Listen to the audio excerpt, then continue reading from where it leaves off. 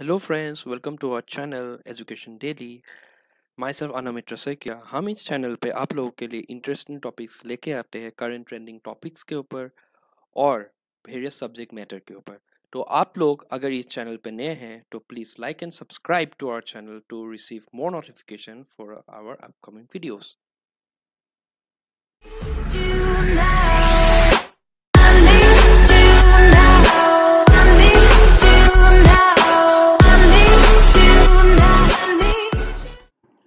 तो आज हम लोग डिस्कस करना चाहते हैं बहुत ही ट्रेंडिंग टॉपिक के बारे में, जो अभी न्यूज़ में हाल ही में बहुत ही ट्रेंडिंग पे रहा है, वो है लोकस्ट आउटब्रेक इन इंडिया जो हाल ही में लोकस्ट का आउटब्रेक हुआ है इंडिया में, उसके बारे में आज हम डिटेल में स्टडी करेंगे।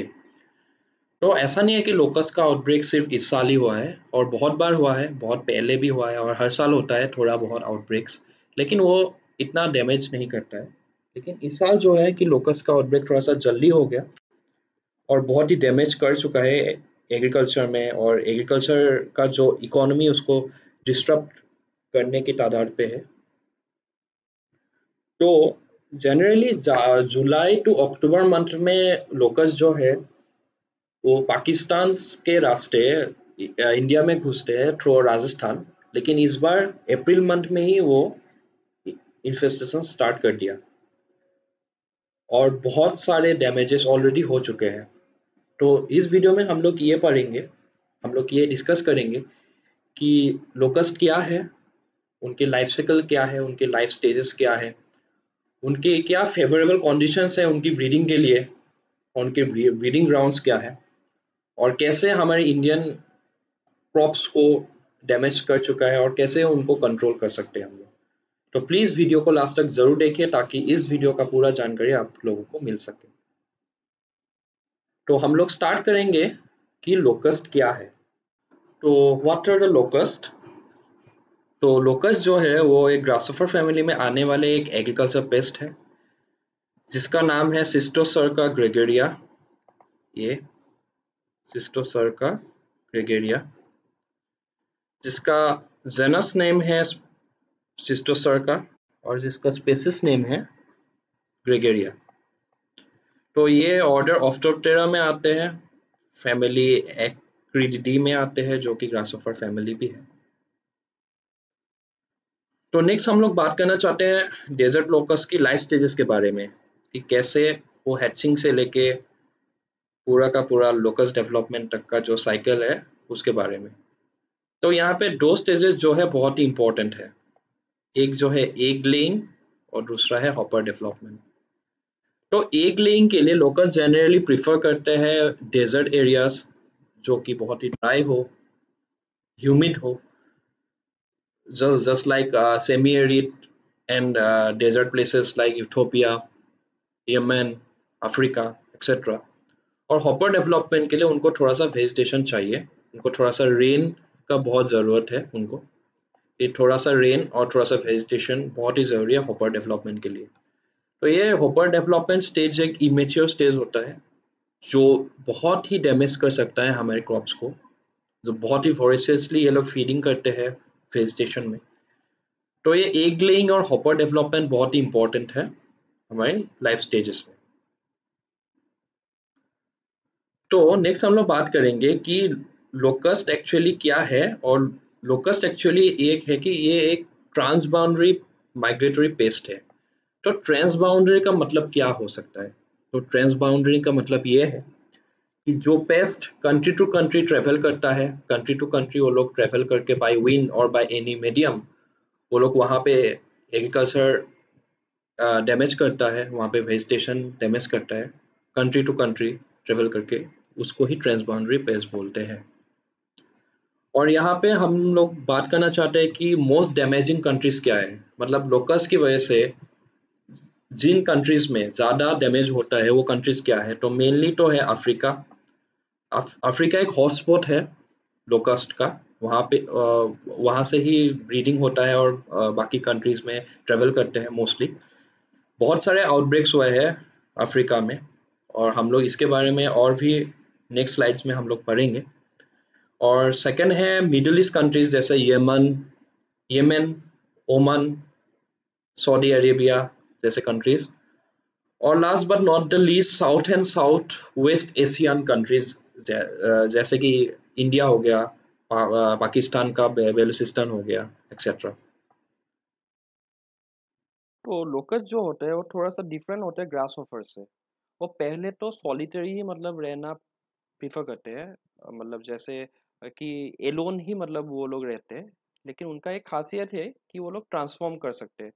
कि एक ग्रेगरियस फ़ेज़ में जो होते हैं बहुत ही डैमेजिंग फ़ेज़ और और स्वार्म फॉर्म कर सकते हैं। तो यहाँ पे एक वर्ड आता है स्वार्म जो बहुत ही इंपॉर्टेंट है कि स्वार्म क्या है। तो स्वार्म उनका एक ग्रुप है, एक ग्रुप फॉर्म कर सकता है जस्ट लाइक हनी बीज जो फॉर्म करते हैं, एक स्वार्म एक एक कॉलोनी और जहाँ पे एक ही कॉलोनी में मिलियंस ऑफ़ लोकल जो है वो रह सकते हैं।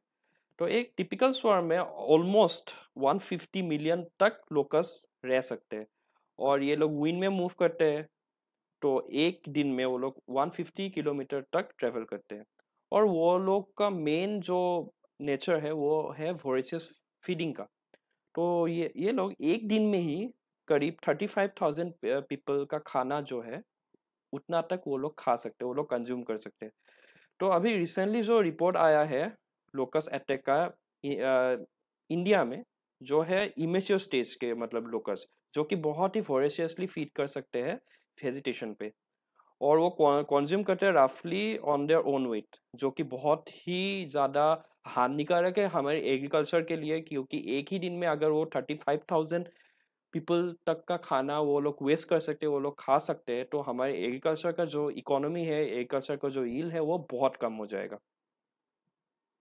तो यहाँ पे हम लोग बात करना चाहते हैं लाइफ साइकिल के बारे में। तो लोकस जो है वो जनरली उनको ब्रीडिंग ग्राउंड जो है वो ड्राई एरियाज़ में वो लोग प्रीफर करते हैं just like Ethiopia Somalia Eritrea जैसे जगहों पे।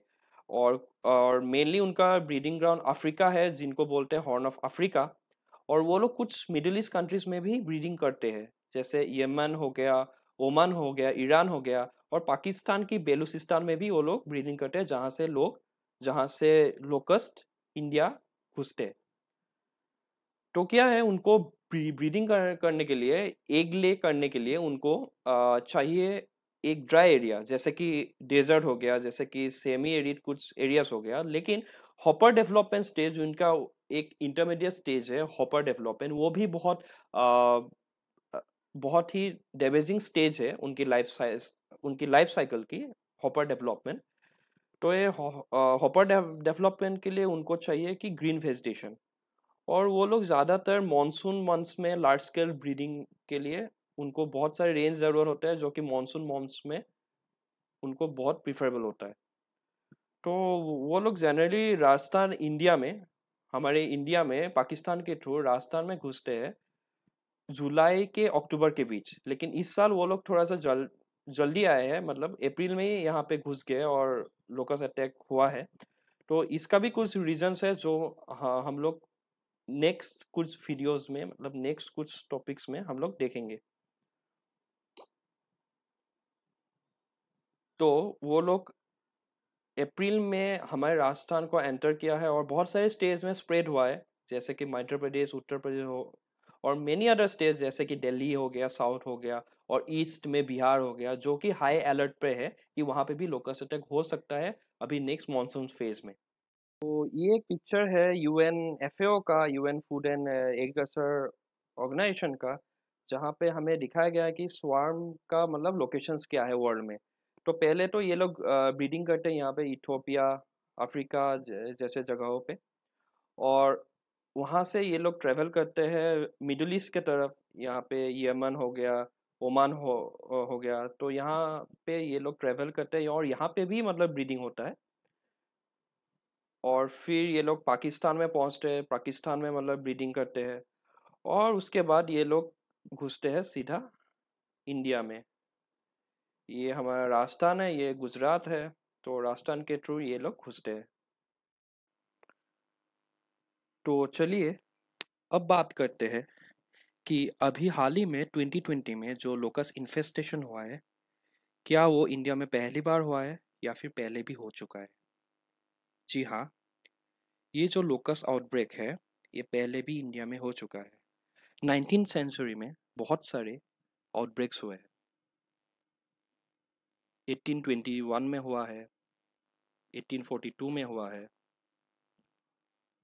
1863 में हुआ है 1878 में हुआ है और 1892 में भी हुआ है। लेकिन पहले लोगों को ये लगा था कि ये इन्फेस्टेशन बहुत ही माइनर है और इनके लिए कोई भी स्टेप्स लेना इट्स नॉट नेसेसरी लेकिन जब 1927 में एक आउटब्रेक हुआ, जिन्होंने सेंट्रल इंडिया और वेस्टर्न इंडिया को हिला के रख दिया, तब हमारे गवर्नमेंट को ये लगा कि एक सेंट्रल बॉडी होना चाहिए, जो सिर्फ़ लोकस के अटैक को मॉनिटर करेगा। उनकी पाथ को ट्रैक करेगा और उनको कंट्रोल करने के लिए गाइडलाइंस बनाएगा। तो इसीलिए 1929 में सेंट्रल फॉर्मेशन हुआ कमेटी का फॉर्मेशन हुआ। और 1930 में सेंट्रल लोकस ब्यूरो एस्टैब्लिश हुआ। लेकिन 1939 में एक ऐसे ऑर्गेनाइजेशन का एस्टैब्लिश हुआ, जो एस्टेब्लिश होने के बाद बाकी सभी ऑर्गेनाइजेशंस और कमिटी का काम एक ही ऑर्गेनाइजेशन करने लगा, जिसका नाम है लोकस्ट वार्निंग ऑर्गेनाइजेशन। ये लोकस्ट वार्निंग ऑर्गेनाइजेशन अभी इंडिया में एस्टेब्लिश है, जिनका हेडक्वार्टर फरीदाबाद, नई दिल्ली में है, जो कि एडमिनिस्ट्रेटिव काम संभालते हैं। और एक जोधपुर में है only for the technical stuff ये एडमिनिस्ट्रेटिव के लिए काम करता है और ये टेक्निकल स्टफ्स को देखता है। तो अभी जो पिक्चर आपके सामने है, ये लोकस्ट वार्निंग ऑर्गेनाइजेशन जोधपुर वाला सेंटर है। ऐसा नहीं है कि और भी अपसर्जेस नए नहीं हुए हैं। बाहर भी। तो बहुत सारे इंस्टेंसेस है जहाँ पे लोकस आउटबर्स्ट हुआ है। तो सबसे ज़्यादा हुआ है 2003 से 2005 के बीच वेस्ट अफ्रीका में। तो पहले तो अपसर स्टार्ट हुआ as a small independent outbreaks के साथ, जहाँ इतना कॉन्सर्न नहीं है। वो सारे आउटब्रेक्स इतना कॉन्सर्न नहीं था, इतना डैमेज नहीं हुआ था वहाँ पे। लेकिन वहाँ पे कुछ ऐसा हुआ कि दो दिन तक लगातार वहाँ पे बारिश हुआ सेनेगल से मोरक्को तक अक्टूबर में, जो लोकस की ब्रीडिंग कंडीशंस के लिए बहुत फेवरेबल रहे फॉर द सिक्स मंथ्स और लोकस का इन्फेस्टेशन काफ़ी बढ़ गया उन सिक्स मंथ्स पे। Six months to one year तक पूरा इन्फेस्टेशन रहा, लेकिन जब रेन कम हुआ और कोल्ड टेम्परेचर्स आए वहाँ पे स्लोली तो स्लोली स्लोली लोकस का जो इन्फेस्टेशन है वो कम होता गया। और उस दौरान दो दो साल में अफसर्स के लिए करीब four hundred million US dollars का खर्चा हुआ और 2.5 बिलियन यूएस डॉलर्स का नुकसान हुआ क्रॉप्स के साथ। तो ये वेस्ट अफ्रीका का सबसे बड़ा लोकस अफसर्स था इन द 15 इयर्स और दूसरा इंस्टेंस है अभी हाल ही में ईस्ट अफ्रीका और एशिया में 1920 और 2019 और 20 के बीच में हुआ था। जनवरी में बहुत एक बड़ा पॉपुलेशन का डेजर्ट लोकस्ट वहाँ पे केनिया में स्टेगनेंट हुए और करीब 10,000 किलोमीटर्स लैंड में 10,000 किलोमीटर स्क्वायर लैंड एरिया में केनिया में 2020 जनवरी 2020 में वहाँ पे फैल गए। और केनिया से लेके ये मिडिल ईस्ट कंट्रीज़ में भी फैल गए, like Ethiopia, Somalia, South Sudan etcetera और जनवरी 2020 में ईस्ट अफ्रीका में, स्पेशली उगांडा और केनिया में, बहुत सारा नुकसान किया इस इस डेजर्ट लोकस ने। तो 25 इयर्स में यूएन का रिपोर्ट ये कहता है कि swarm population is the largest in Somalia and Ethiopia अभी और जब मानसून आएगा जनवरी अभी और मानसून सीज़न जब स्टार्ट होगा जुलाई अगस्त में, तब और भी पोटेंशियल है कि ये सारे लोकस का जो पॉपुलेशन है, वो इंक्रीज हो जाए और और भी डिवास्टेशन क्रिएट करने का पोटेंशियल ये रखते हैं। तो चलिए, अभी बात करते हैं हमारे इंडिया में कितना डैमेज हुआ है इस लोकस आउटब्रेक के बाद। तो इंडिया में डैमेज बहुत हुआ है और मेनली जो स्टेट्स है, जो डैमेज हुआ है, वो मेनली है राजस्थान, गुजरात, क्योंकि वो पाकिस्तान के बॉर्डर पे है और उसके बाद मध्य प्रदेश, हरियाणा, महाराष्ट्र, उत्तर प्रदेश और पंजाब में। तो राजस्थान में पहले पहले लोकस्ट का इन्फेस्टेशन स्टार्ट हुआ। पाकिस्तान के रास्ते लोकस्ट आते हैं, वहाँ पे और इन्फेस्टेशन कर, करते हैं और धीरे धीरे वहाँ से मध्य प्रदेश होते हुए महाराष्ट्र, उत्तर प्रदेश और पंजाब में भी इसका इफ़ेक्ट देखा गया है। तो इंडिया का ये सबसे लार्जेस्ट और वर्स्ट मतलब डिवास्टेटिंग आउटब्रेक है लोकस्ट का इन द डिकेड्स 25 इयर्स में ये सबसे वर्स्ट है, जो कि फाइव स्टेट्स को मेनली अफेक्ट किया है, राजस्थान, मध्य प्रदेश, उत्तर प्रदेश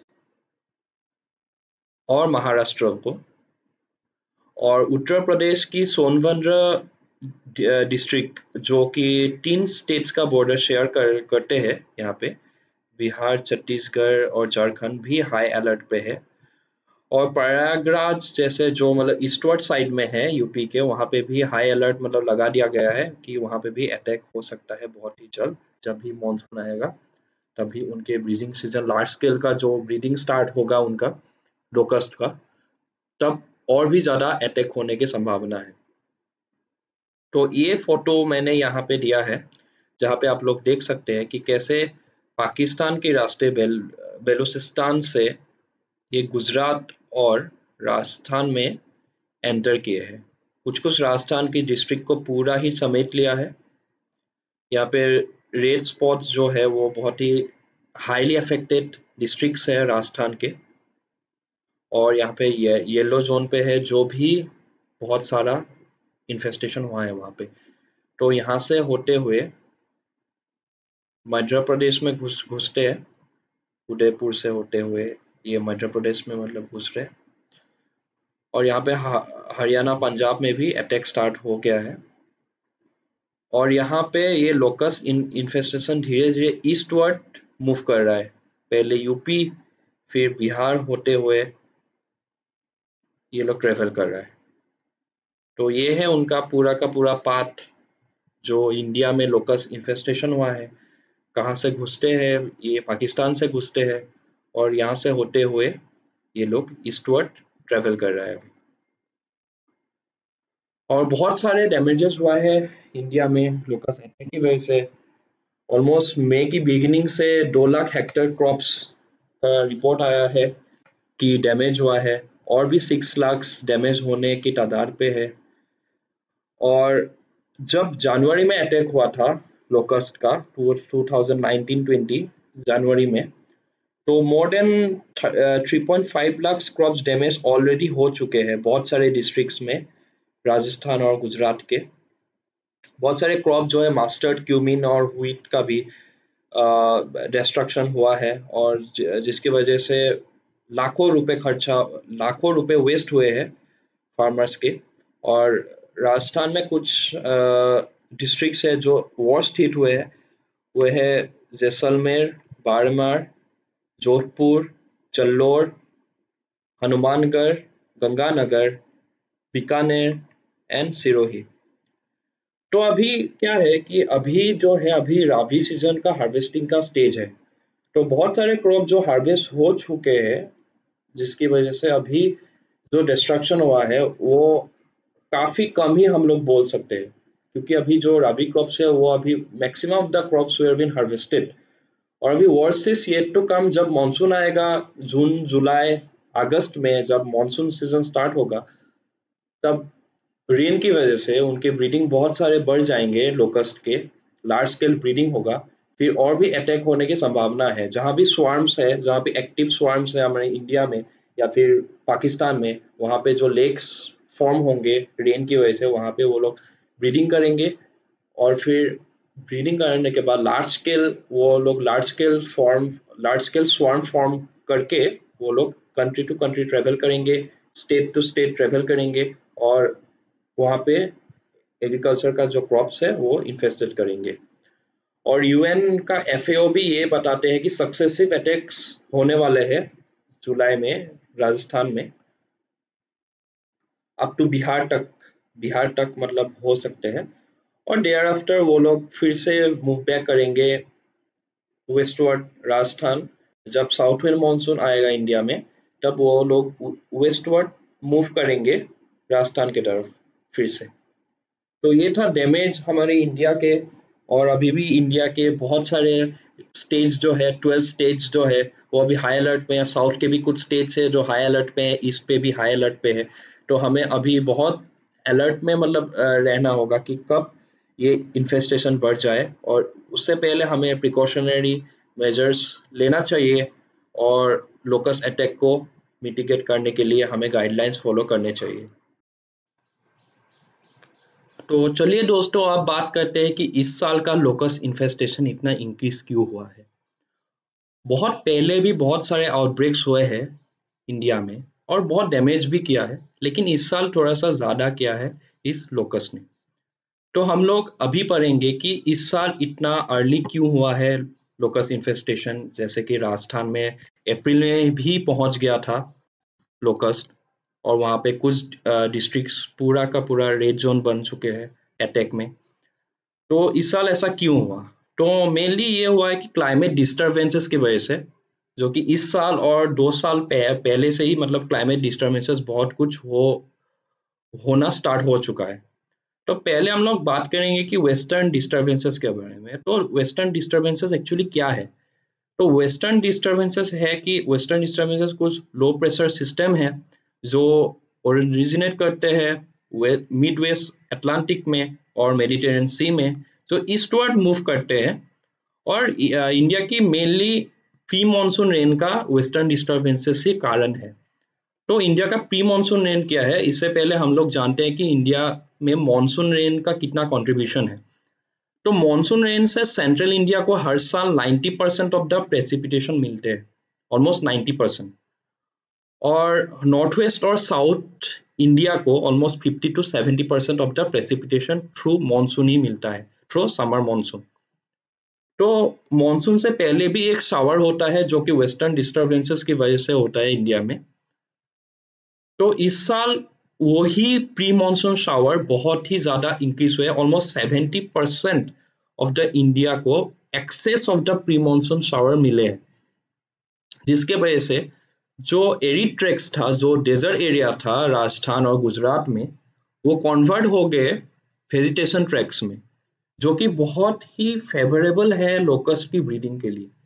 जैसे कि मैंने पहले भी बोला कि लोकस को ब्रीडिंग करने एग लेइंग में उनको चाहिए कि एक ड्राई एरिया और हॉपर डेवलपमेंट और बहुत सारे स्टेजेस की जो डेवलपमेंट है, उनके लिए उनको चाहिए ग्रीन वेजिटेशन और रेन तो हॉपर डेवलपमेंट के लिए बहुत ही कॉन्जेनियल क्लाइमेट कंडीशंस है वेजिटेशन ग्रो होना।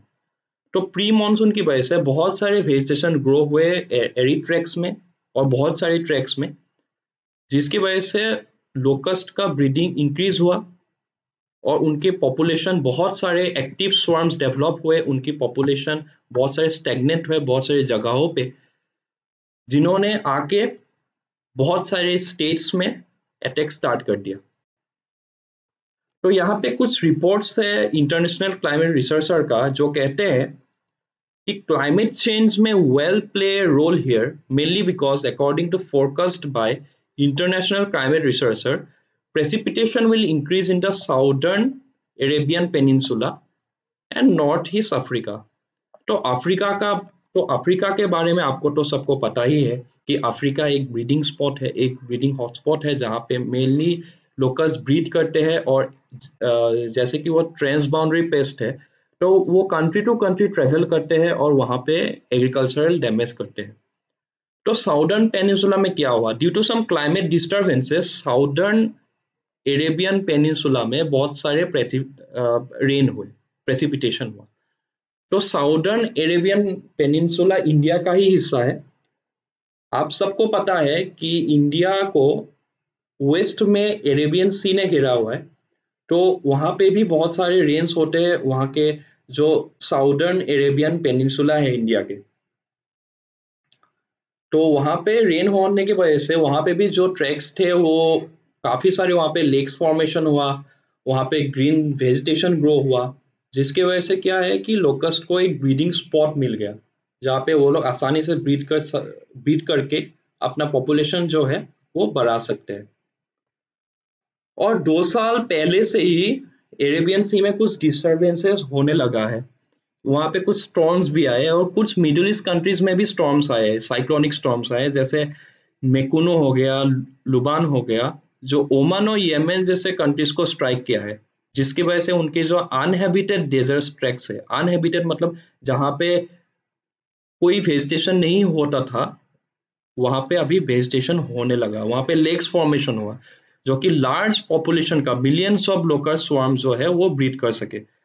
तो इन सब कारणों की वजह से western disturbances climatic condition cyclonic storm जिसकी वजह से हमारा जो रेन का यूजुअल पैटर्न है, वो चेंज हो गया। और बहुत सारा एक्सेस रेन हो गया, जिसके वजह से लोकस को ब्रीडिंग करने में काफ़ी आसानी हुआ।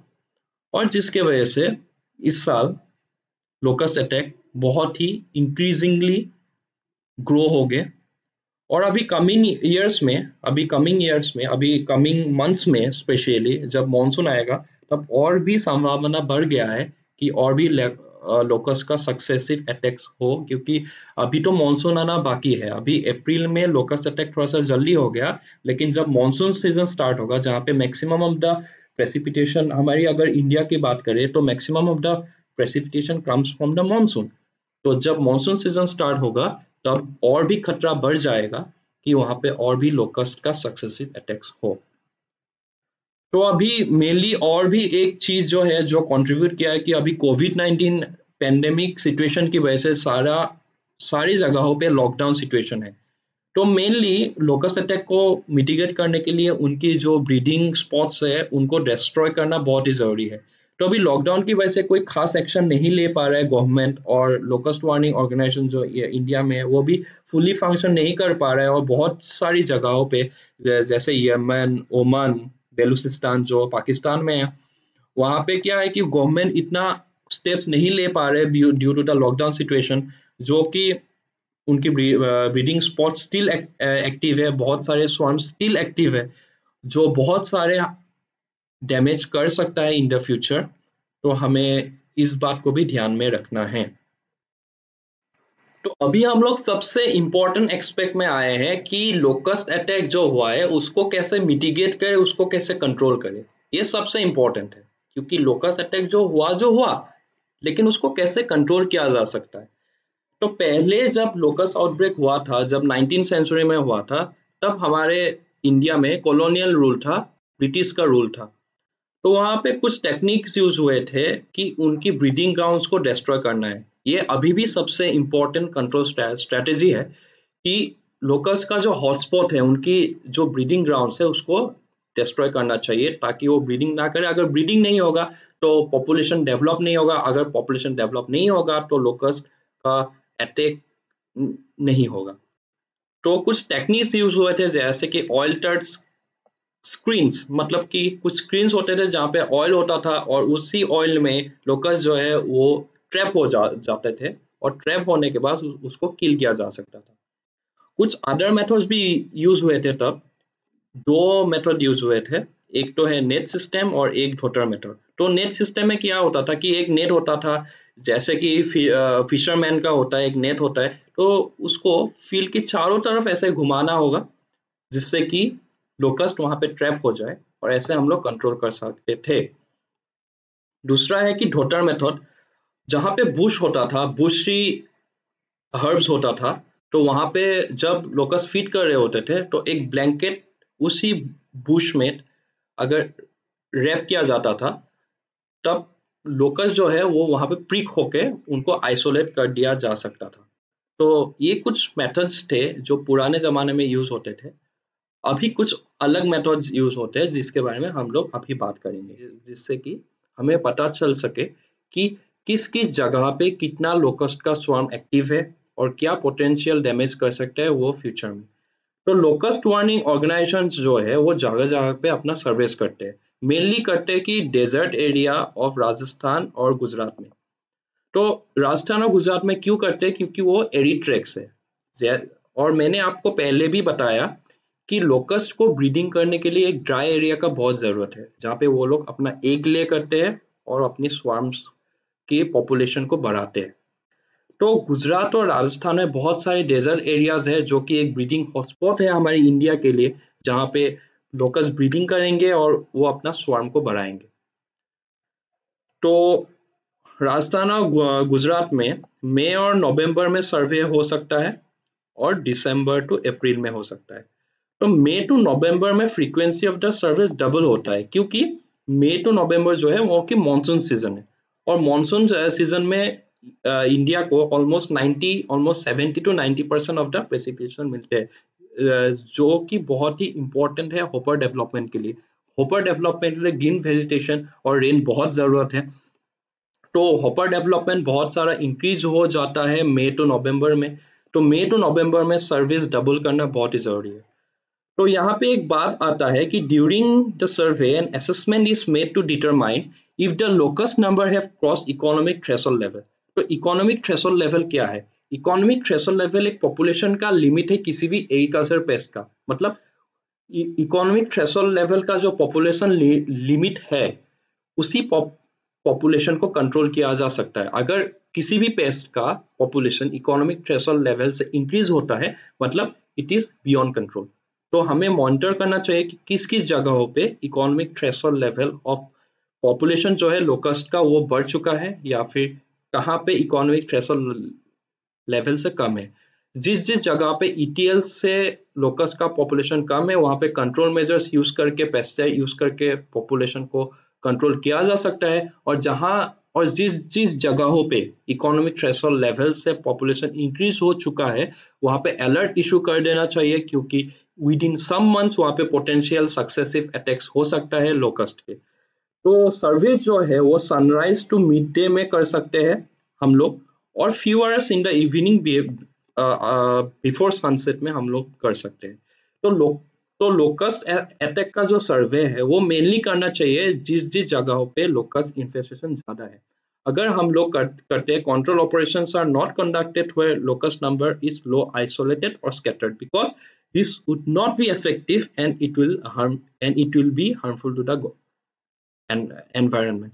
तो जहाँ जहाँ पे लोकस्ट का पॉपुलेशन कम है, अगर वहाँ पे हम लोग कंट्रोल मेजर्स या फिर पेस्टिसाइड यूज़ करते हैं तो वो एनवायरनमेंट के लिए ही हानिकारक होगा, क्योंकि वहाँ पे लोकस नहीं है और हम लोग वहाँ पे कंट्रोल मेजर्स यूज़ कर रहे हैं। तो कंट्रोल मेजर्स उस जगह पे यूज़ करना चाहिए, जहाँ पे जो पॉपुलेशन है, वो बहुत ही ज़्यादा है और इकोनॉमिक ट्रेसल लेवल से वो बढ़ चुका है। और in addition to L W O concern state authorities should also be requested to keep an constant watch over the development of locust activities and inform to the nearest locust circle officer if any development is seen and further action is required तो जहाँ जहाँ पे locus infestation ज़्यादा है, वहाँ पे state authorities को alert issue कर देना चाहिए कि वहाँ पर पोटेंशियल अटैक्स हो हो सकते हैं और अगर अलर्ट इशू कर, करते हैं तो उस पॉपुलेशन को कंट्रोल किया जा सकता है। तो जैसे कि मैंने बताया कि प्रिवेंटिव कंट्रोल स्ट्रेटेजी लेना कितना ज़रूरी है अगर if we are aiming to control the locust attack अगर हम लोग प्रिवेंटिव कंट्रोल स्ट्रेटेजी नहीं लेते हैं तब हमारे एग्रीकल्चर के क्रॉप्स को बहुत सारा नुकसान हो सकता है और हमारे एग्रीकल्चर की जो इकोनॉमी है वो डिस्टर्ब हो जाएगा। तो एक इंस्टेंस ये है कि जब 2003 और 2005 के बीच में लोकस अपसर्ज हुआ था नॉर्थ अफ्रीका में, तब ऑलमोस्ट 500 मिलियन यूएस डॉलर्स का खर्चा हुआ था गवर्नमेंट को। और almost 13 million hectares of land जिसको पेस्टिसाइड से ट्रीट करना पड़ा था। तो सीरियल लॉसेस पूरा का पूरा डिस्ट्रॉय हो चुका था cereal losses reaching about 100 percent और 60 percent of the farmers became indebted तो 60 परसेंट ऑफ़ द फार्मर्स जो अफ्रीका में थे क्रॉप लॉस होने की वजह से वो डेप्ट में चले गए थे। तो प्रिवेंटिव कंट्रोल स्ट्रेटेजी हमारे इंडिया में भी लेना बहुत ही ज़रूरी है, अगर हम इस टाइप की सिचुएशन को कंट्रोल करना चाहते हैं तो। नॉट द लीस्ट हम लोग अभी डिस्कस करेंगे कि क्या केमिकल्स यूज़ होते हैं in controlling the locust attack के बारे में। तो पहला हमारी लिस्ट पे है मालाथियन डस्ट जो कि बहुत ही कॉमन एक पेस्टिसाइड है, जो कि हम लोग अपने वेजिटेबल्स में और बहुत सारे हॉर्टिकल्चर क्रॉप्स में यूज़ होते हैं। दूसरा है B S C ten percent dust तीसरा है डायड्रिन एटीन परसेंट चौथा है फेनोट्रोट्रियन यूएलवी और fourth is chlorpyrifos 20 percent EC तो इन सब केमिकल्स की मदद से हम लोग लोकस अटैक को काफ़ी हद तक by the pesticide way of controlling हम लोग कंट्रोल कर सकते हैं। तो this is it for this video तो इस वीडियो में हम लोगों ने आपको बहुत सारी जानकारी दिया है लोकस अटैक इन इंडिया के बारे में। तो पहले हम लोगों ने डिस्कस किया कि लोकस्ट क्या है, उनके ब्रीडिंग साइकिल्स क्या है, उनके ब्रीडिंग हॉटस्पॉट्स क्या है, कैसे हमारे इंडिया में, किस रास्ते से इंडिया में घुसे हैं और किस किस स्टेट्स पे अब तक अटैक कर चुके हैं। और कैसे हम लोग लोकस अटैक को कंट्रोल कर सकते हैं। तो I hope you like this video and if you like please hit this subscribe button to receive more notification about upcoming videos till then take care good bye